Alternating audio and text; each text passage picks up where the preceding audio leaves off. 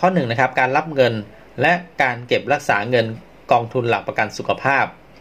1.1 บรรดาเงินรายรับเข้ากองทุนหลักประกันสุขภาพตามข้อ 7วรรคหนึ่งในประกาศนี้นะครับ ให้นำส่งเข้าบัญชีกองทุนหลักประกันสุขภาพ ที่เปิดบัญชีกับธนาคารเพื่อการเกษตรและสหกรณ์การเกษตร หรือทกสนะครับ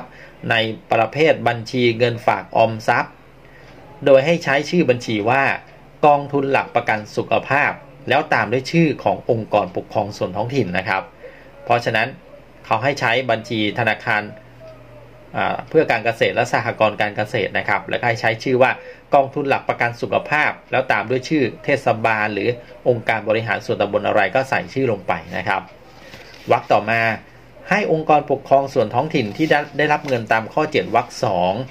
เปิดบัญชีกับธนาคารเพื่อการเกษตรและสหกรณ์การเกษตร ประเภทบัญชีเงินฝากออมทรัพย์ โดยให้ใช้ชื่อบัญชีว่ากองทุนหลักประกันสุขภาพ และตามด้วยชื่อ ท้องถิ่น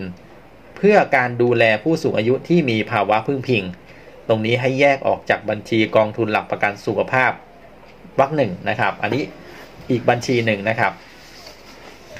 กรณีที่มีความจำเป็นเนี่ยแล้วก็ไม่อาจจะเปิดบัญชีกับธนาคารเพื่อการเกษตร และสหกรณ์การเกษตรตามวรรคหนึ่งและวรรคสองได้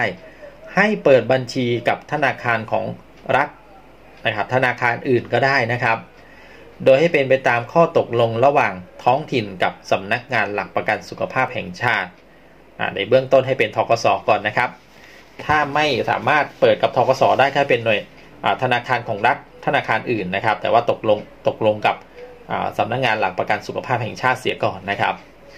ทั้งนี้บัญชีกองทุนหลักประกันสุขภาพที่ได้เปิดบัญชีเอาไว้แล้ว ก่อนประกาศนี้ใช้บังคับให้ถือว่าเป็นบัญชีเงินฝากตามวรรคหนึ่งและวรรคสองแล้วแต่กรณีนะครับ